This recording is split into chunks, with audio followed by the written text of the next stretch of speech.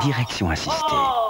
Verrouillage centralisé. Oh Vitre avant et rétroviseur électrique. Oh, oh, Jante en alliage. Autoradio cassette RDS 6 haut-parleurs. Oh là là là là, mais qu'est-ce qu'ils m'ont encore mis comme trace de aujourd'hui? En ce moment, la gamme Opel Astra Tiffany commence à 79 200 francs.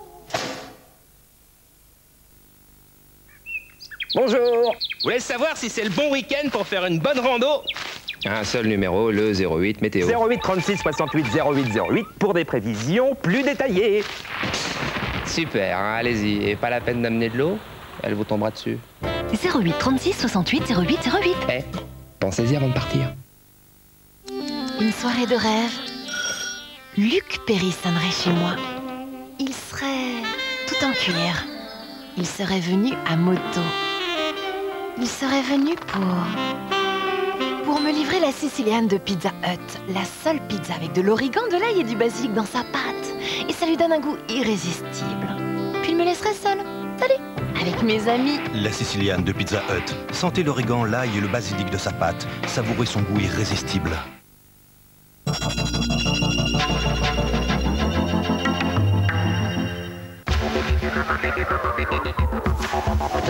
Fragile, transport de VIP. Je n'ai éprouvé aucun stress particulier.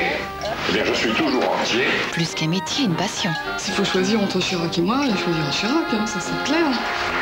L'un est chauffeur de maître, l'autre maîtresse de maison. Là aussi, c'est de la dentelle. Je tes vêtements que. Tiens. Il a quand même 24 ans. Hein. Faut-il qu'on les aime, ces petits, quand ils sont grands? Levons nos verres aux héros du quotidien. Striptease, samedi 22h30, 123.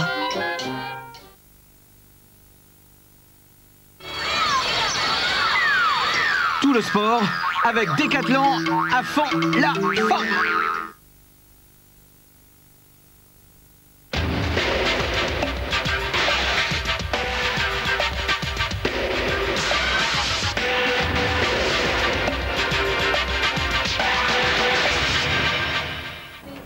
Cyril Guimard ne sera plus le directeur sportif de l'équipe Cofidis la saison prochaine. Le groupe euh, français de crédit par téléphone vient d'annoncer cette décision.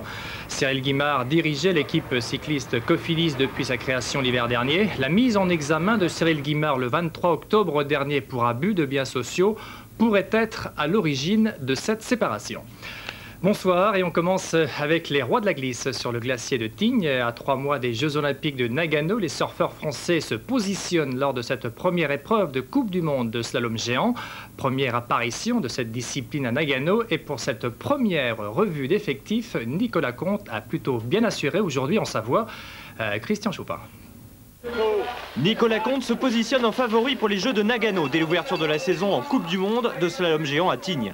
Sur une neige très dure, le champion de France de la spécialité a utilisé un snowboard d'un mètre 90, une planche rapide mais difficile à maîtriser. Résultat, deuxième place à l'arrivée.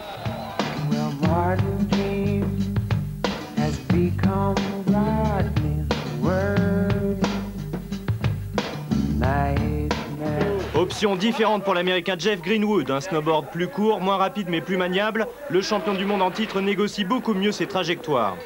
80 centièmes d'avance sur le français en 2 minutes 6 secondes, il décroche la victoire.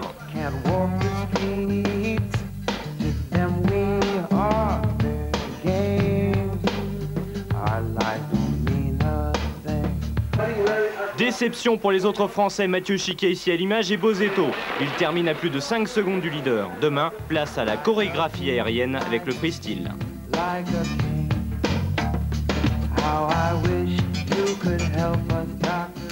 Tennis au Masters de Hanovre, on connaît maintenant tous les qualifiés pour les demi-finales. Une journée cruciale pour Pete Sampras qui était condamné à battre son adversaire du jour, Patrick Rafter. On va voir ce qui s'est passé pour le triple vainqueur de l'épreuve, Véronique Gautruche. Sampras Rafter, l'assurance du numéro 1 mondial contre le punch du dernier vainqueur de l'US Open. Dans ce duel, les clés du match sont la qualité du service et les retours gagnants. Les deux adversaires s'affrontent au filet. Dans un premier temps, avantage Rafter. Mais les services volés du grand maître américain vont rapidement déstabiliser l'Australien. Premier set 6-4 pour Sampras. La deuxième manche tourne à la démonstration. Sampras multiplie ace et service gagnant. 6-1 en 20 minutes. Échec et mat en 2-7, Patrick Rafter est éliminé des Masters au profit de Carlos Moya, l'Espagnol ayant marqué un plus grand nombre de jeux.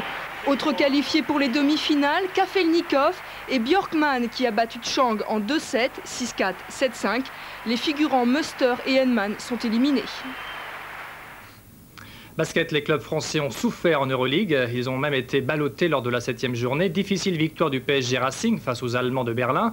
Déception pour Portes qui est passé près de l'exploit face à Bologne. C'est un copain adverse qui les a empêchés de faire la fête. Nathanaël de Rinxin.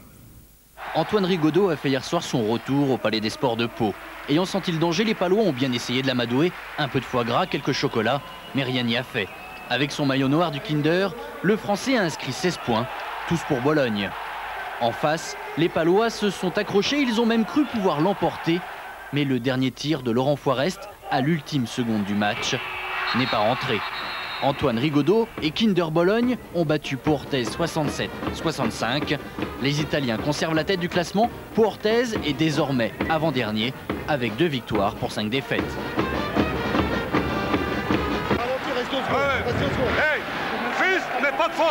Branle-bas de combat au Paris Saint-Germain face à Alba Berlin, un point d'avance à deux secondes de la fin. Eric Strulens a bien respecté la tactique, marqué le premier lancer franc, raté le second volontairement. Les Allemands n'ont pas eu le temps de récupérer le ballon. Paris Saint-Germain a battu Berlin 55-53. Les champions de France sont désormais quatrièmes avec trois victoires pour quatre défaites. Football, un repreneur pour le club de Cannes, lanterne rouge du championnat de France de première division. Le club anglais d'Arsenal s'est porté acquéreur du club français. L'affaire devrait logiquement se conclure la semaine prochaine. On enchaîne maintenant avec les autres. Télégramme en images, Fabrice Aubert. Le Canet Bernard Héresson a été suspendu deux mois par la Ligue nationale de football après cette agression sur Laurent Bourmeau. Le Lorientais, victime d'une double fracture tibia-péroné, ne devrait pas rejouer avant la fin de la saison.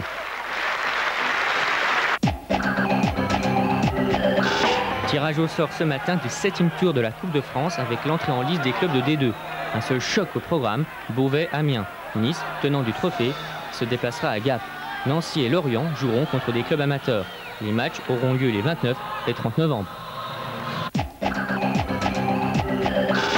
Laurent Bourgnon a été désigné champion du monde des skippers par la Fédération internationale de course océanique. Une première place acquise grâce notamment à son succès dans la Transat en double Le Havre-Carthagène avec son frère Yvan. C'est la cinquième fois de suite que Bourgnon est classé numéro 1. Loïc Perron termine deuxième. En rugby, l'opération euh, séduction pour le 15 de France demain après-midi à Lyon. Pour le premier test match face aux Springboks, euh, les Bleus savent ce qu'il leur reste à faire euh, pour éviter d'être malmenés face aux champions du monde en titre. Discipline, confiance et solidarité pour la bande Ascrella. Cédric Berthaud.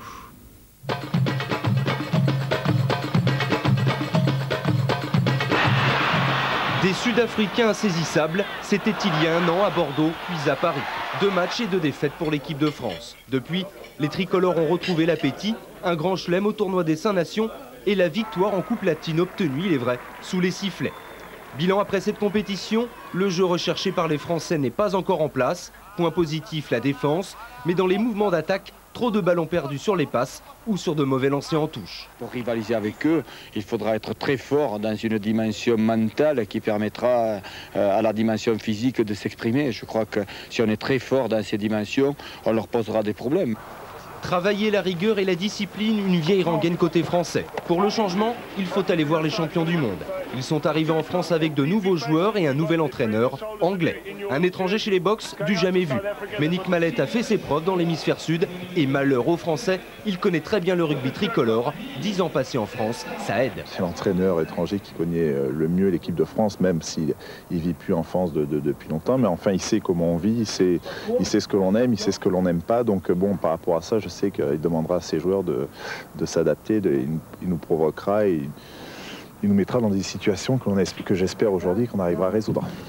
Un défi tactique, un défi physique, les tricolores devront produire du jeu et un grand match demain à Lyon. Même si les Springboks ne sont plus maîtres dans leur hémisphère, jouer contre les rugbymen du diable, comme on les surnomme, a souvent été pour les Français un véritable calvaire.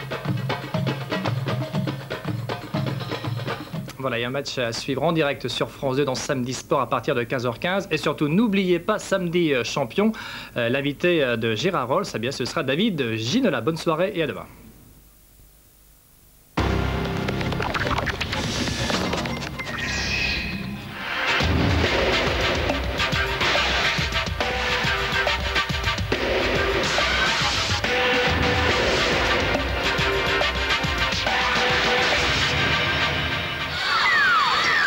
C'était tout le sport avec Décathlon à fond la forme. L'un des deux s'appelait Cain et l'autre